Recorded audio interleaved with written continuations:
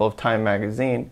And for today, we read a, a, couple of sociologists that say secularization theory is completely wrong.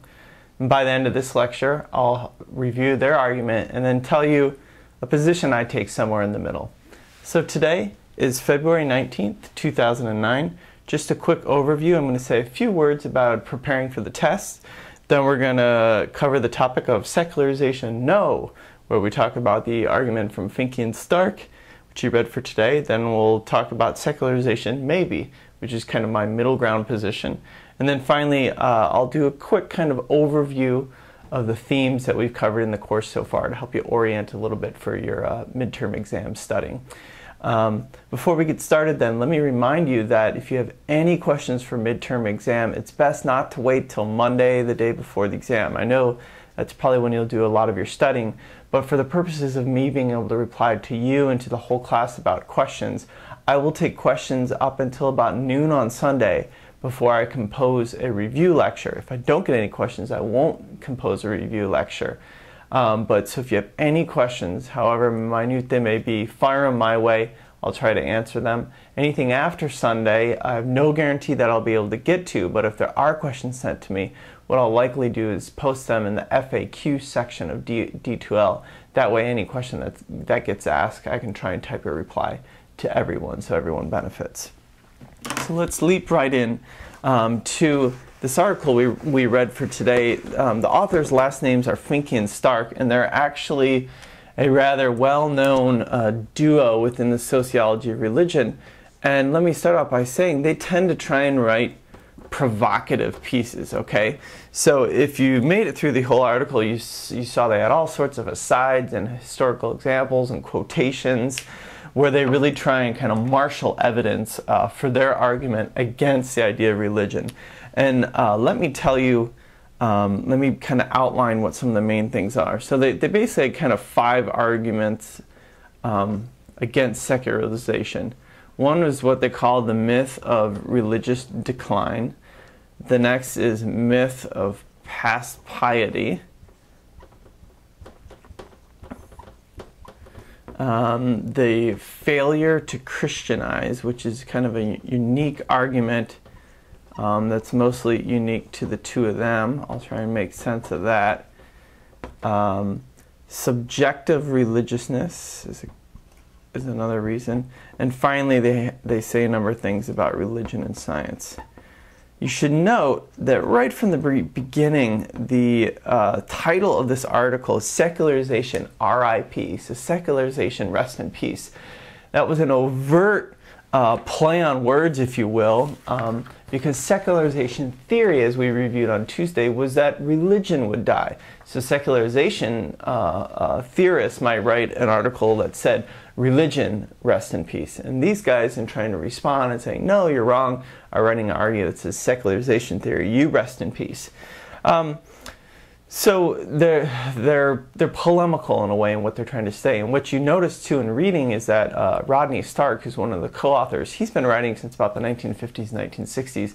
And he quotes himself at length in this article to say, look, there have been a few voices, i.e., myself, throughout this whole decades long argument about secularization who have been saying that no secularization theory is wrong.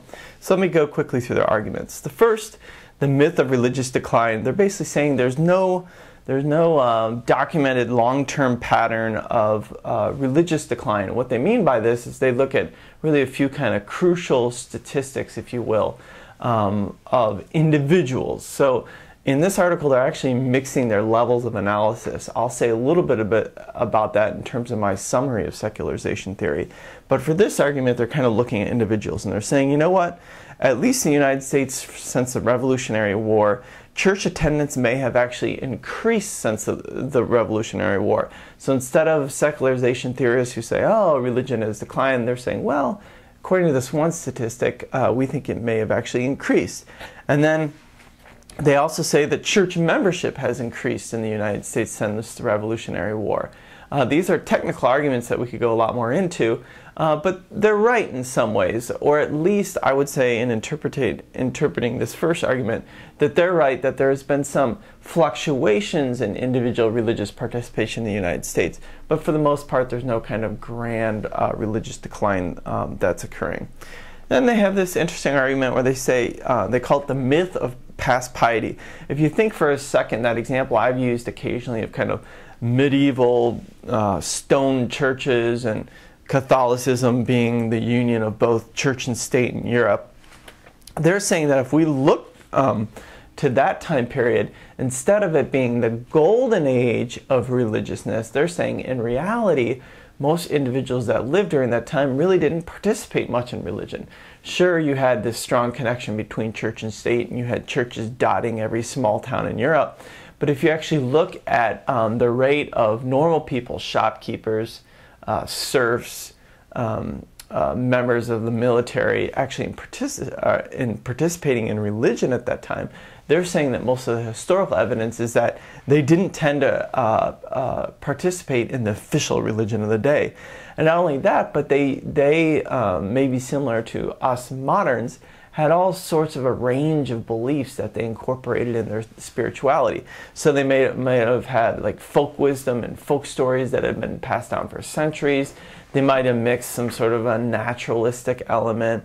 They might have also borrowed from other religious traditions that they might have countered. For example, uh, Jewish and Islamic peoples in Spain, that some of that might have filtered into the actual practices of people. So uh, Finke and Stark are arguing they're making this kind of uh, double edge argument with these first two arguments. The first are saying, well, the, there has been no decline um, so there's been no kind of downward curve that comes down. But they're saying there also was never that high of religious partition way in the past. So if you bring down the past relative to the present, then any decline that would have occurred would have been much less of a decline.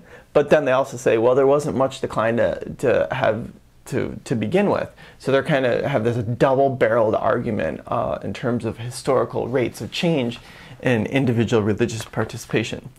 And then they switch to kind of another level of analysis, this argument called failure to Christianize. And this is kind of interesting. It's more of a social or um, institutional, organizational argument. And what they say was um, in this past kind of golden age, because, and the example they use is Christianity, because Christianity was the one state church in Europe, particularly before the Protestant Reformation, they consider the religion of that time lazy. In other words, what they're they're using an economic argument and they're saying Christianity had a monopoly. And using economic logic, they're saying in any monopoly, there's kind of laziness to be able in terms of developing a good product that people will want to buy. So to extend it to religion, they're saying religion in a monopoly is not a product that's really attuned to the needs of individuals. It doesn't have to be because it's a monopoly. And therefore, individuals are much, much less likely to take it seriously and to participate. And that they're arguing that, that, that this was the case.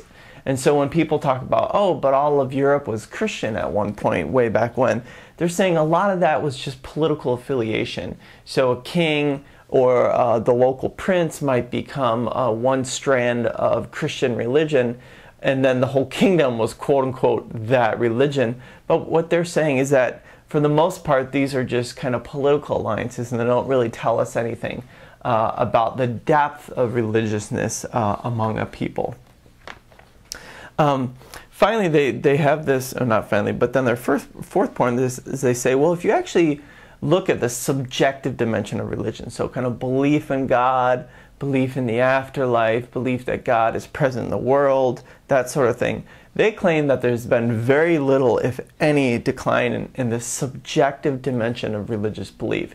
So they say, yes, sociologists often talk about Europe having uh, lower rates of uh, religious participation uh, not many people go to church and the churches are empty. But they say, well, you know, there's reasons for that. Uh, Europe was never fully Christianized, so we can't really say that anything's fallen apart if it was never really thickly Christianized. It was this lazy monopoly. And not only that, they say people still seem to report these subjective measures of religiousness.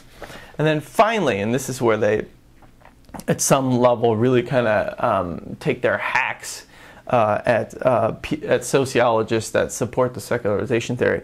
They say there is no conflict between religious and, religion and science, and they marshal all sorts of arguments. They say